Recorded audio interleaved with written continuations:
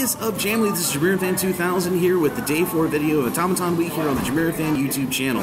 So far, BBC Radio 2, specifically the Ken Bruce TV show, has debuted three new songs from Automaton via radio debuts during the week.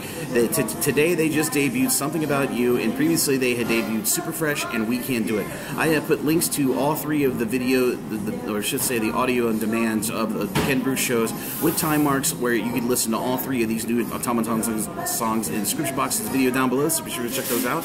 Also, coming tomorrow will be my two-part Automaton video review, and it is a heck of an album, and get ready to watch that here on the Jamiroquai YouTube channel.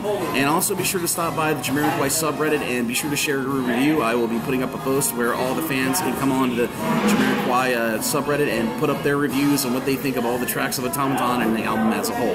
This is Jamiro Fan 2000. See, see you tomorrow with my Automaton two-part video review. Bye, everybody.